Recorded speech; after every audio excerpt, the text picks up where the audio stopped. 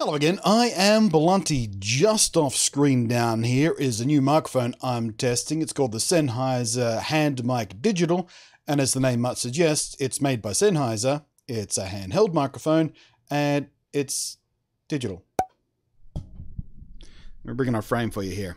Now, obviously, I'm not hand holding at the moment because it also comes with a microphone clip, which you can attach to any standard uh, microphone boom arm if you like. It also comes with a little desk stand thing as well. So if you don't have a microphone a boom arm or anything like that, you can still use it non handheld, even though it's called the HandMic Digital.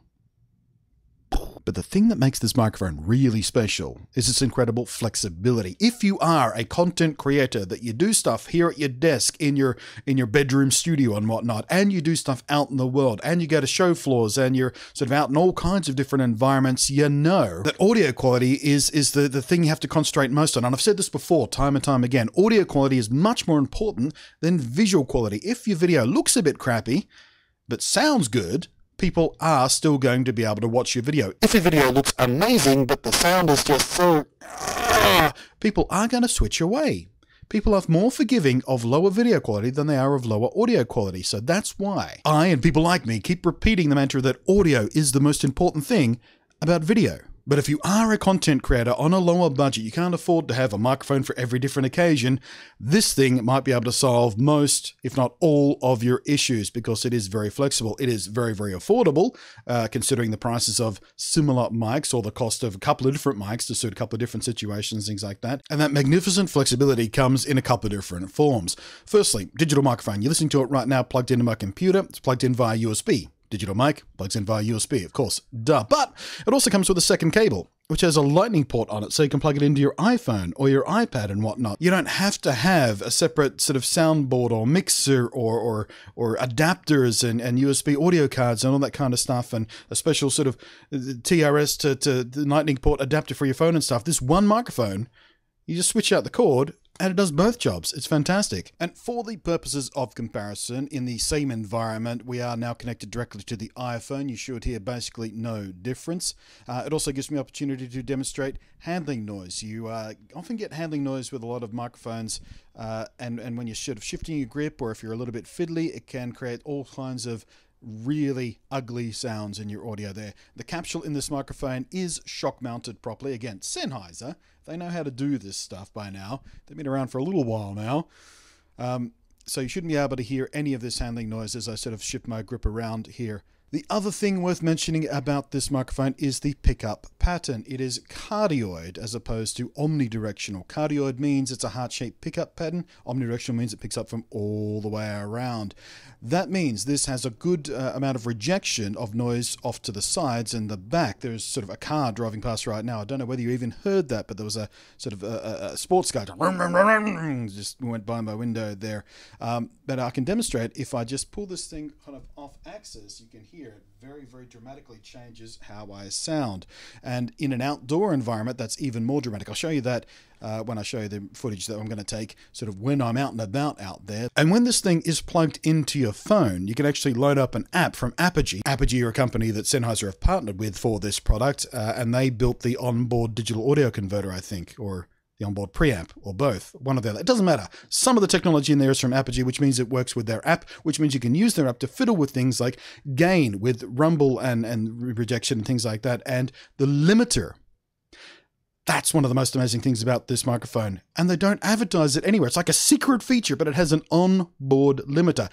If you're new to audio design and things like that, a limiter basically means, you know, when you when you get too loud into a microphone and it distorts, it caps out it sounds terrible. This thing has technology in it to lower the sensitivity automatically if things start to get too loud. So it always tries to stop that sort of distortion happening when you get really, really loud. And you can adjust that to your needs as well. You can adjust how much that limiter affects things. So you can fine tune it, which makes this an incredibly powerful tool. So you can do things like this in a nice, reasonably quiet studio environment, or you can take it out onto a show floor or a concert or, or a noisy street and you can fully adjust how this thing behaves in those environments to get the best sound possible. So here's a prime example, by the way, of when this kind of microphone can come in invaluable. Here I am down here on a beautiful, cool morning down at Sydney Harbour, the bridge, and this opera house in the background. It's a lovely thing. Maybe you're doing an interview down here because it's pretty. Maybe you're doing a travel vlog or something like that. But without this microphone, you couldn't get this shot. Let me show you why. And this is why. This distance from the camera in a location like this with wind and waves and people and boat engines and things like that, you just can't hear me nearly as clearly as you can when I have this thing actually plugged in, can you? Now obviously the onboard mics aren't ideal for a situation like this. We're in the wind, where there's, there's noise around, there's people over there, there's lots and lots of traffic going by. And it's the same story with any onboard microphone for any camera. It's not a problem exclusive to the phone. Although, I will say this, the iPhone is surprisingly good. I've used the onboard microphone on my iPhone many times uh, in videos. People said, oh, uh, I see you were filming on your iPhone. What microphone did you use? It sounds great. And I said, well, I was using onboard microphones. I'm like, however, if you want to push your production value higher than just good enough, than just, okay, I can hear what's being said, if you want to work in difficult environments and actually have a level of production quality that sounds far better than the default option of the onboard microphones, this is obviously what you need. Now, obviously, it's not magic. It can't automatically just make all the other noise disappear. That cardioid pickup pattern, that sort of heart-shaped pickup pattern that focuses noise just from the front is an excellent thing when what you're trying to do is reject all the other noise going on around you. The downside of having a microphone like this, and this is why, by the way, a lot of what they call ENG microphones, electronic news gathering, a lot of those microphones designed for interviews and things like that on camera are omnidirectional. They pick up noise from all around them. Because if I'm standing here next to someone having conversation and they interrupt me while I'm saying something, they're not going to be on mic with this microphone. They're going to be off axis. You're barely going to hear them.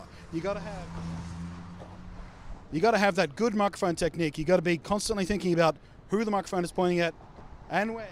Otherwise, you're going to get that thing that you often hear in, in videos where people don't have good microphone technique. The omnidirectional microphone solves that issue. You can just sort of hold it between you and it works fine. But the trade-off with the omnidirectional microphones is that it will also pick up all of this environmental noise around me. And I'm just going to switch over to the onboard mics again to remind you just how noisy that is. So there we go, we're unplugged and once more you can hear exactly how noisy this environment is. Now, obviously if I was dealing with a handheld microphone, even an omnidirectional one, you'd still get all of this noise. You'd hear me a little bit better because of the proximity effect of the microphone, but you'd still be dealing with all this environmental noise. That's why I love this.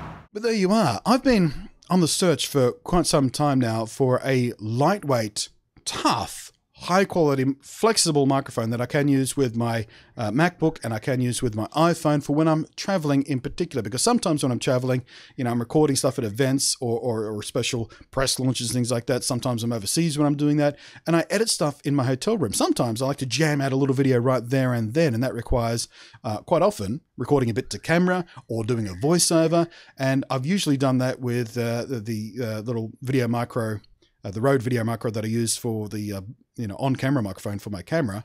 Um, that's not ideal. And because of the way the MacBook sort of operates its audio channel, it doesn't work directly with that. So I have to record it into my phone using a little adapter, which I have to keep with me to transfer the TRS connector to the lightning port. And then I have to get the audio file off the iPhone back onto the Mac to throw into the edit and things like that. With this, I can do it all in one. I can edit, you know, film and do, everything on the phone if I want to. Everything can record there and I can sort of edit there. Or I can move that stuff over the Mac. Or I can record directly into the Mac when I'm doing the uh, thing here. The only missing piece of the chain, as far as I'm concerned, is I would also like to have an option to go straight into my camera. But that would require some sort of um, active cable because it is a digital output versus an analog input on my camera. So I don't know whether there's a solution for that, Sennheiser. But if you're listening, uh, a little sort of active cable that'll go into a uh, standard 3.5 mil microphone port, so I can use this with the camera and with my phone and with my computer all in one. That'd be aces. But as it stands, this now, uh, like I said, I've been on the hunt for quite some time for a, a, a, microphone that can sort of I can travel with to get better quality than the uh, Rode Video Micro that I use with the camera for when I'm doing in the hotel room sort of recording and voiceovers and things like that. And this is it. My most recent go-to microphone was the uh, the Razer Seiren X, which is a little compact USB microphone, and that's fine. But this is even better than that for my travel needs because I can use that with the phone when I'm on sort of out in the street or on the show floor trying to do interviews and stuff. I don't even have to sort of film with this when I'm using this microphone either. Another way you can do it is you record the audio into this using this microphone, into your phone using this microphone, and then sync it up with the camera later. So that way you have what is essentially a wireless sort of microphone pack. Um, so you don't have to have a cable running to your camera. You don't have to use one of the, the, the, radio microphones, which have issues of their own on show floors with interference and things like that, with so many Wi-Fi and other radio signals bouncing around all the time. This is a superb bit of equipment to invest in if you are sort of that that sort of a YouTuber basically. You do stuff at home, you do stuff out in the world. You need to do interview stuff. You need to do stuff here at the desk and record voiceovers, do, do two camera bits and reject the noise from the window out there, and all that kind of stuff. Here it is, the solution. So thanks very much for watching. I am Blunty, and we'll catch you next time. And uh, thank you to Sennheiser for letting me check this out. They're not. It's not a sponsored video or anything, but they did send me this to check out, and thanks which is how you're listening to me now. But it also comes with a second cable, which is this one here, which has a lightning port on it. So it goes into your iOS devices, into your iPhone, into your iPad. And I'm going to have to stop this recording just on the chance that that incredibly noisy garbage truck outside is coming through and ruining this for you because you're supposed to be listening to how this microphone sounds and not being distracted by the garbage truck. I don't know how the garbage trucks always know when I start recording. It's uncanny. Every morning, no matter what time of the morning I start recording, press the press the button to, to record, and then it summons a garbage truck like magic.